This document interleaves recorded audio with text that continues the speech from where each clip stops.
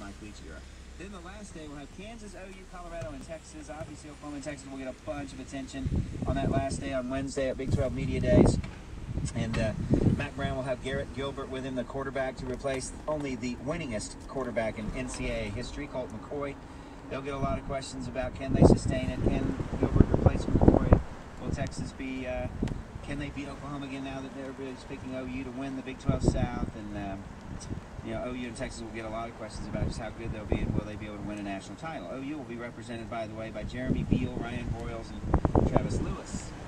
You know, and the guy asked me who's OU's best player, and I said Travis Lewis. Jeremy Beal would be a candidate. I mean, Jeremy Beal's really good. OU's best player on that team. Colorado will be there. I told you Dan Hawkins will. They'll get questions about why are you leaving and going to the Pac-10, and Hawkins will be getting questions about, um, hey, you're, are you under pressure here, uh, especially getting ready to go to another league? And he'll say, it's the big, it's the Pac-10, it's Division One football.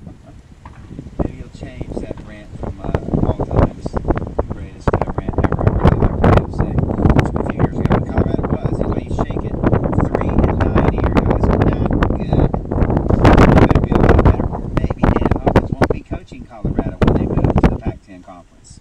And Turner Gill will get a lot of run as the new Kansas head coach taking over for Mark Mangino. Chuck Long is on his staff now, the former OU offensive coordinator. Turner, the former Nebraska quarterback. So uh, I'm sure there'll be a lot of attention paid to Turner Gill and Tommy Tuberville for being the two.